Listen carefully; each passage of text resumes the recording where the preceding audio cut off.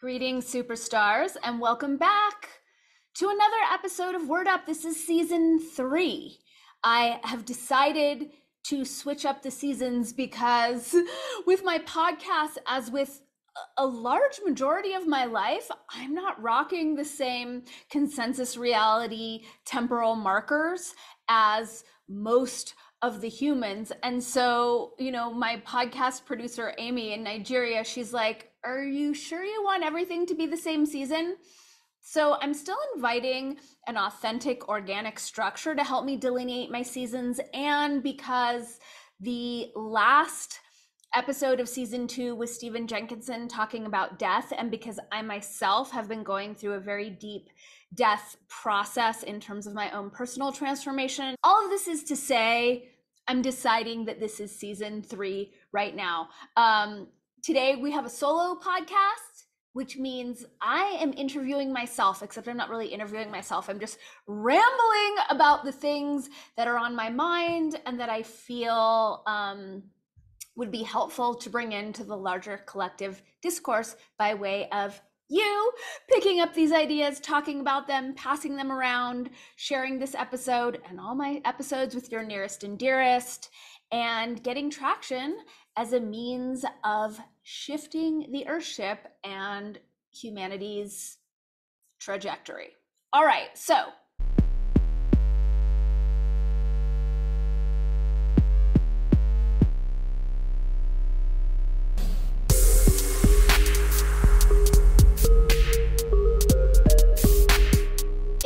currently Independence Day. Will no longer be Independence Day when this Word Up episode drops. And I still have a reflection that I'd like to share that I think is relevant and valuable regardless of the day, holy or not. Um, I went onto Instagram today and I saw a woman with a very large following posting something about like what a shitty country this is run by like old dead capitalist you know racist blah blah blah and how this country super sucks. And i wrote in the comment stream like aren't we so blessed to live in a country where you and i as free thinking women have the freedom to express these thoughts? And i was dogpiled on. Shocker. Um because you know we have our own bubbles. And in her bubble everyone's like yes preach. It was interesting because one of the people who i saw like putting up the preach sister emoji was cree summer. And um, you know i've been a fan of cree summer since different world and she, she you know I, have I've met her. I hung out with her back when she was dating my friend jeff and we all went to burning man and you know we used to play together and she's such a cool chick. But i was thinking like damn, you are a Black woman who has carved out such an amazing career for yourself, like as an artist, um, as a, you know, she does voiceover artist, she acts on screen, she has a musical career. It's like kind of an artist dream career. Um, and I'm like, is this like, where are you not free and rocking your empowerment and your freedom as a woman in America? Like, if there are pieces of this that I'm missing, but this is what I want to bring in. So I think so much of this comes, you know, this perspective, this lens of perception. Granted, it's propaganda, it's mind control, like it's been indoctrinated. We we can see that in the media and in academia. But um, like I feel like people who cling to this notion that America is such like a racist, shitty hellhole have never traveled anywhere else. And here are the two examples that are coming to mind. And I have shared one of these before a couple Independence Days back. So forgive me if you've already heard this. But, you know, I have done a lot of travel in my lifetime. And when I was in my 20s, I backpacked my, through India for about four months by myself, which was freaking amazing. And this was in 1999, 2000. India was very different then than it is now. And I stayed at this beautiful monastery in the jungle in the Bear Hills um, which was Swami Nirmalananda's monastery. And there was a woman who was living on the property who was about my age. I was like 27. She might have been a couple years younger. And she was living there because she was a scholar. And she was living there because she did not want to get married. And because she did not want to get married, and India was, you know, has a very strong caste system. Her family sent her away. She was totally outcast. And the Swami Nirmalananda had passed, but the Swami who had taken over had welcomed her in because she didn't have another choice as a place to live as a single woman who wasn't interested in stepping into some sort of arranged marriage. She wanted to learn and to work. So that was instance number one of, of like this really strong wake up call of like, wow, we are so blessed in America.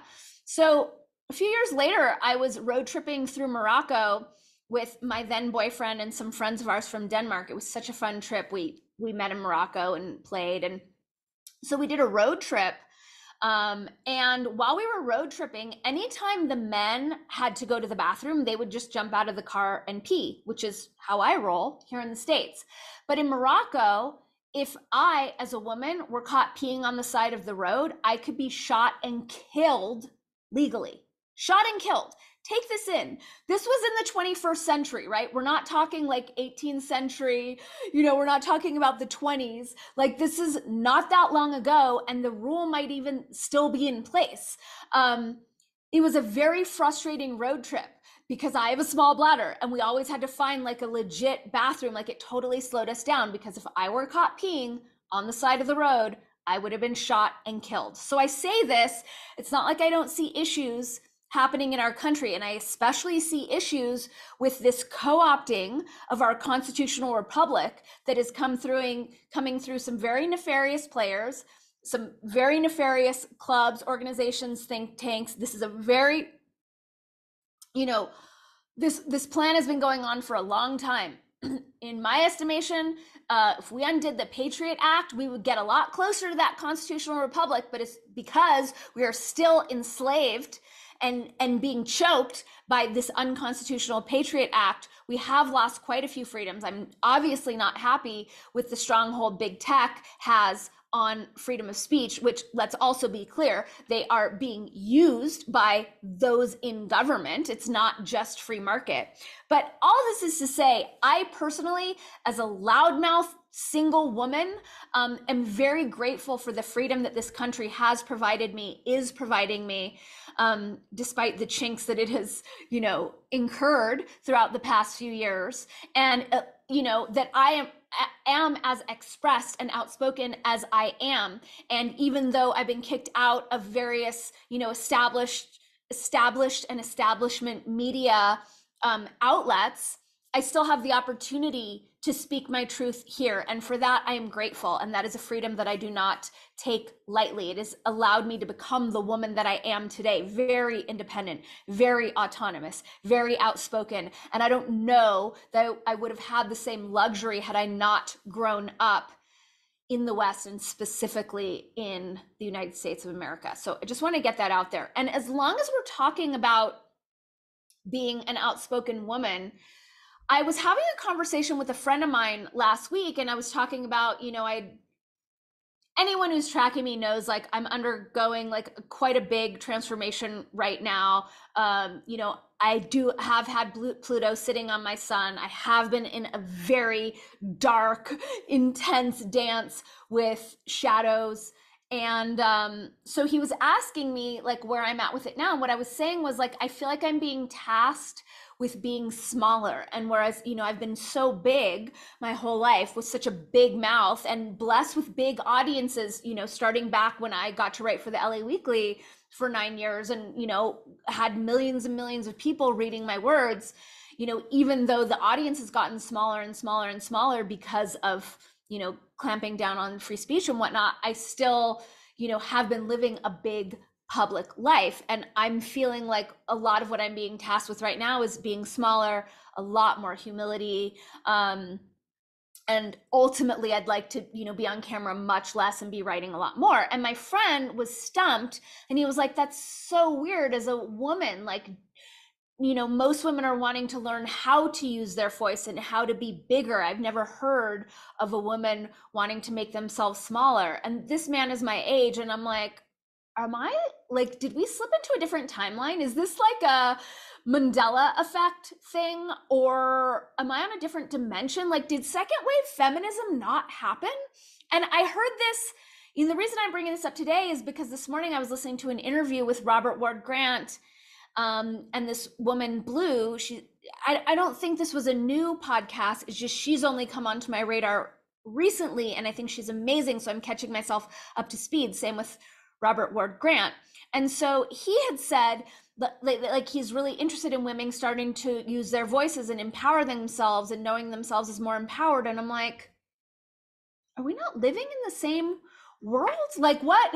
I um like for me personally, I was the daughter of a really outspoken, independent second wave feminist. Um I, I grew up with like I mean I've talked about this. A woman needs a man like a fish needs a bicycle. I, I'm not a fan of that um, that notion. And keep in mind, you know, Gloria Steinem was a paid CIA asset. So did she even come up with that phrase? I don't know. But I'm just thinking of like Madonna and Blonde Ambition and like Oprah and you know the old Donna Karan ads with like a woman being sworn into the Oval Office. And granted, like I get that it's a process, and sure we have more ways to go. But at this time, like in 2023, to be surprised that there's an outspoken woman who's wanting to learn to like pull it back a little bit, I was just like, are we? maybe we are living in different dimensions, different reality construct. I'm also coming to realize more and more a lot of the quote unquote issues that we see plaguing, you know, different like ideological camps or identitarian camps are regional, right? So I see this like when I hear Mo Fax talk about you know the racism that he experiences and i heard him on one show talk about like an affluent area and he's like well you know there ain't no black people there and i'm like you do? What like where?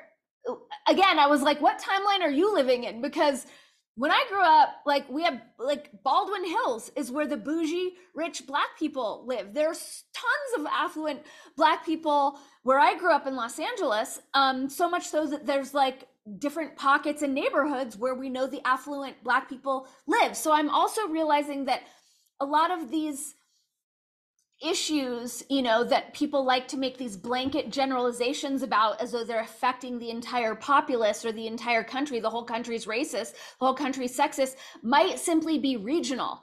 And they might simply be issues that show up in our local experience, but that the rest of us aren't actually experiencing because we live in different regions.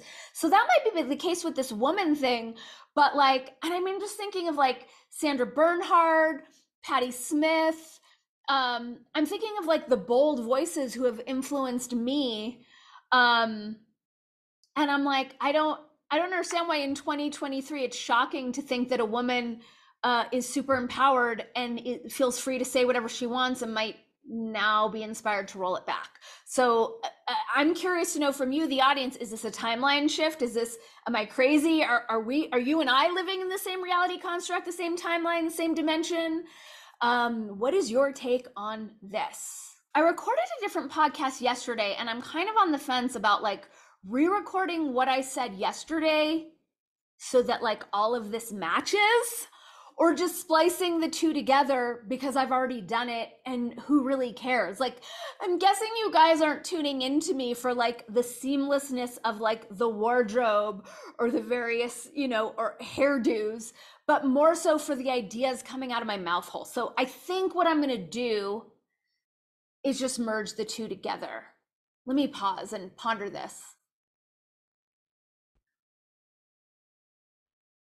Okay, so I have um, reviewed my notes and I feel confident in just merging the two together and making it kind of a podcast mashup and trusting that you, my audience, will understand. We have a, a, a, small umbrella topic today, which is called Things That I Am Shocked to Know That People Don't Know. So, first on the list of things that I'm shocked to know that people don't know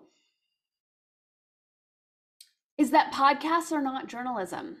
So this popped up when Jordan Peterson was interviewing RFK. Rogan's podcast is number one in 97 countries. He's clearly the most powerful journalist who's ever lived.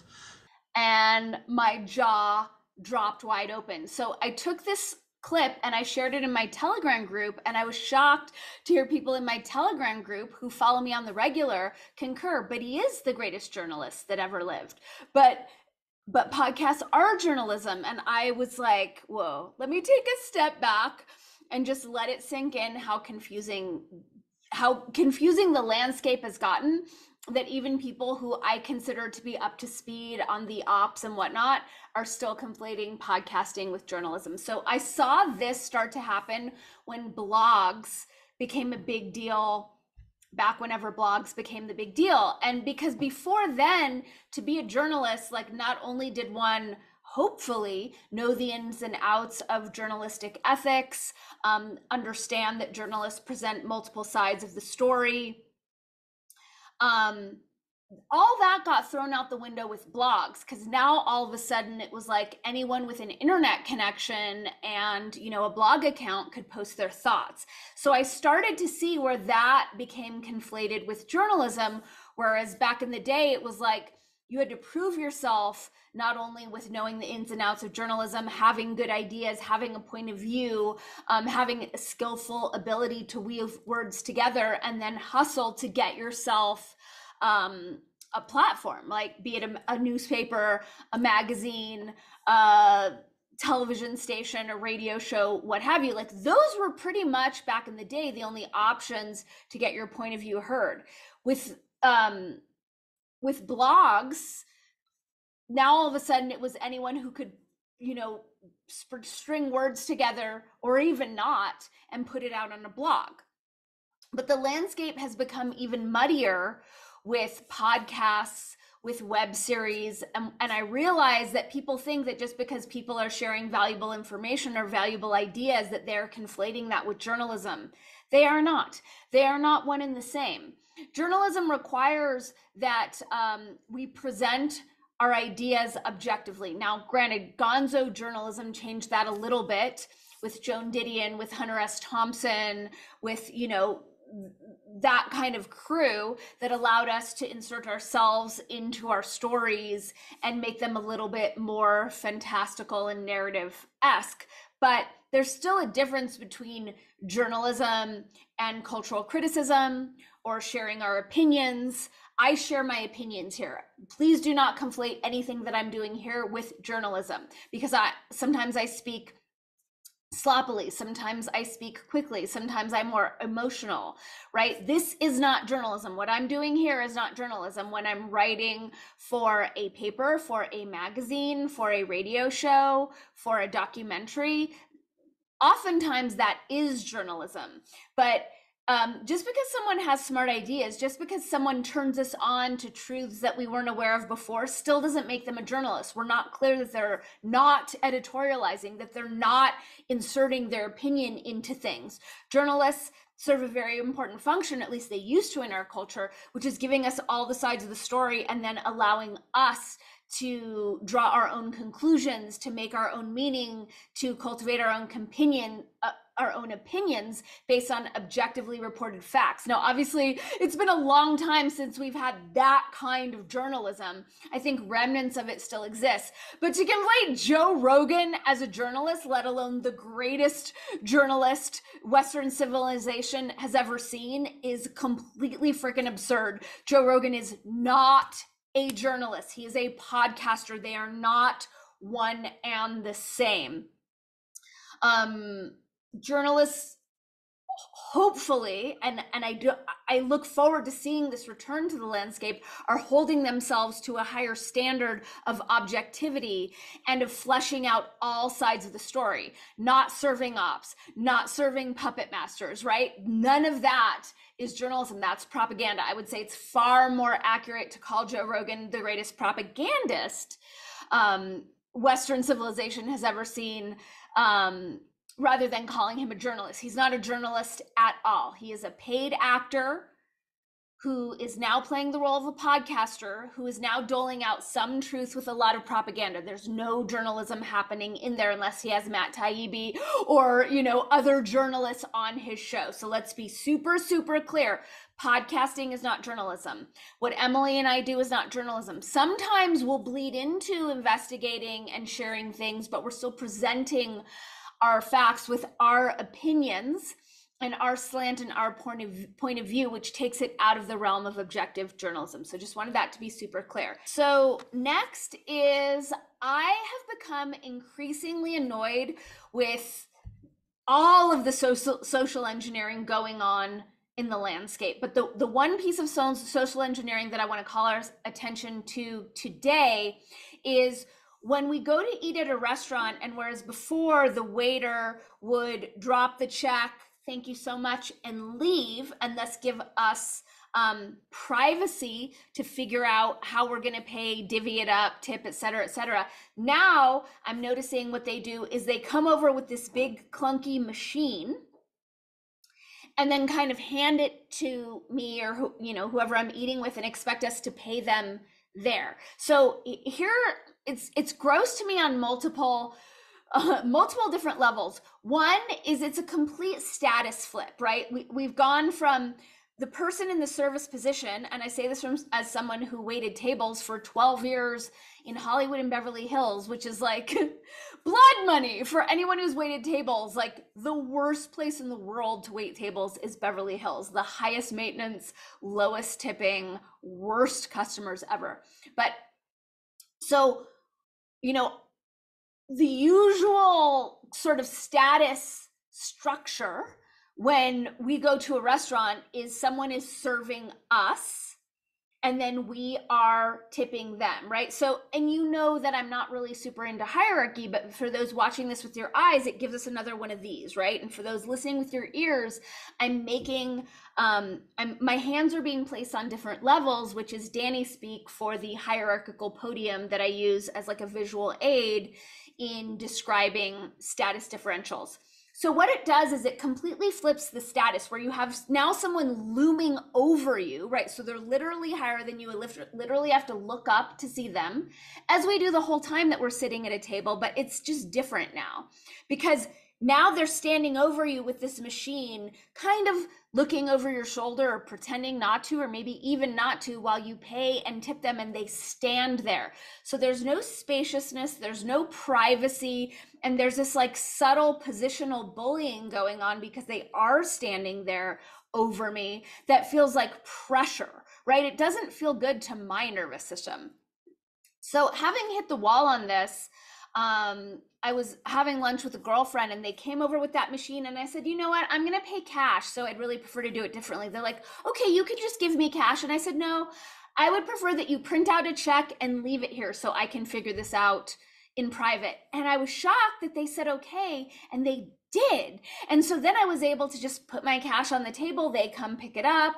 I get change like the way it used to be. Superhuman. No, i don't have that pressure and this machine in my face that's you know irradiating the whole perimeter with emfs and god knows what other information it's tracking. Like i'm so not down with it so my new strategy when i go to restaurants is when they come with that big clunky machine i say no i prefer a printed out check and some privacy please while i settle this up and i'm very nice about it and everyone has been very nice to me and it's my way of saying no I'm not okay with this. And if I wasn't the only one doing it, it would certainly be possible for us to shift this. So I'm encouraging you and me and all of us, and anyone who has an authentic contraction around this new way of getting us to pay. If that's not jiving with you, then I encourage you to do what I'm doing, which is to say, you know what, I prefer a printed out check and some privacy, please. Thank you so much. And of course, being polite. I mean, I waited tables long enough to know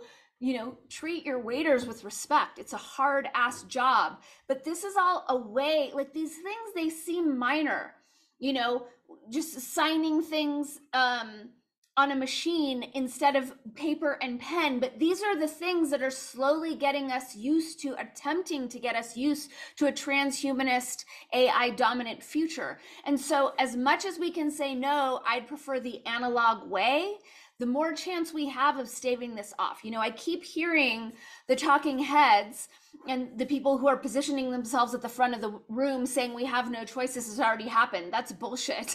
There are more of us than them. We absolutely have a choice. It comes down to everything you know we've been talking about you know going back to face muzzles and whatnot just say no. The more of us who say no that is feedback. And then they know oh our customers don't like this. So let's return to a means of doing business and collecting payment that pleases the customers who keep us in business. Food for thought. So, another thing that I am noticing is that I have been dealing with a physiological detox reaction, purification around my mouth that has been really painful, but mostly unsightly. And here is something that I've noticed. I know exactly what's going on. I'm totally on top of my healing protocol. It's taking the time it takes, but it seems to make people in my life very uncomfortable. And what I've noticed, and specifically among my girlfriends, but really, I mean, there are some men who we can throw in there, is everyone around me, their urge to A, pathologize what's going on with my mouth, and B, their urge to tell me what I need to do to fix it. And I love that my friends love me so much that they want to go out of their way to figure out what's going on with me, to give me kind and loving recommendations because they don't want me suffering, right? Like it's all coming from the best possible place. And to be clear, it's something that I do too. Like I'm wired this way. Um, I'm I'm a child of second wave feminist mother, you know, so I am also still in the process of transmuting some overly masculine tendencies, like wanting to fix everything in my sphere. But it was interesting with my girlfriends who didn't want to, you know, it was making them uncomfortable or making them empathetic, like whatever it was, how A, they would attempt to diagnose it. Oh, it looks like a this, it's a this, it's a this, it's a this. And like, I get that not everyone has watched my Language of Healing webinar, has not attended my Language of Healing talks, but I the number one precept of the languages of healing is do not pathologize. So I myself am not open to receiving projected pathologies from other people, especially when they're uninvited. Pathologies are laden with coding that programs the physiological body, the psychological body, the emotional body, the energetic body, and the quantum field at large. So, you know, were I to have embraced any of the pathologies that people in my life tried to project onto me, it is far more likely that my symptoms would have started to mirror those of these various pathologies and diagnoses, because that's what that type of coding does. It takes otherwise passing temporary systems. That word was supposed to be symptoms and it attempts to herd them onto a very specific pathway called pathology X or diagnosis Y. On top of that, had I embraced any of these pathologies, many of which were scary, it probably would have messed with my psycho emotional um, calm and well being and added another layer on top of my healing process called freaking out, which really doesn't optimize the immune system.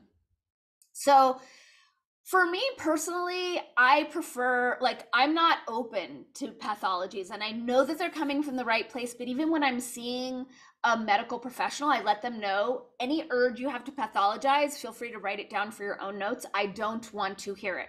All I want to hear about is what is, is our best course of treatment for, for the symptoms that I am expressing now um, and what is the best course of treatment for how you think the symptoms, you know, what the symptoms may or may not be pointing to. I like to keep the conversation in the realm of temporary symptoms and not go into pathologizing or diagnosing, which is then tethered to so many worst case scenarios. Because let's be clear, every pathology and every diagnosis is absolutely inextricably bound to the worst case scenario and to the worst possible statistics because that industry, the Western medical paradigm, needs to tether their diagnoses and their pathologies to worst possible case scenario and worst case scenario statistics to cover their own ass because their primary concern is not getting sued. Secondary is helping their patients, but primary is not getting sued. And that means giving people the worst case scenario to lower their expectations.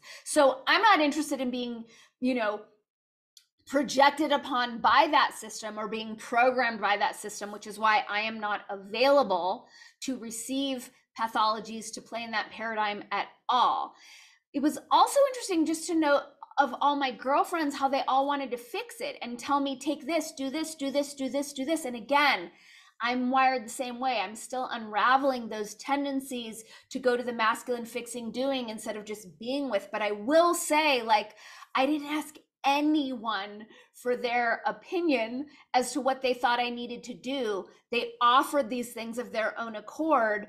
And I think it just speaks to the rebalancing that we're all being invited to do in terms of being able to toggle between the masculine and the feminine it was was really most helpful for me was just people who are willing to be with me and not need to comment and not need to fix and not need to like freak out around what was expressing and purifying through my mouth but just be with me just be my friend.